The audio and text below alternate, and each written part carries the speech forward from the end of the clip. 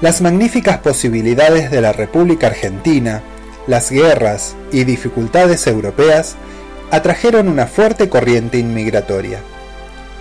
Mientras Europa se industrializaba, nuestro país agroganadero abastecía de materia prima, productos agrícolas y animales de cría al viejo continente.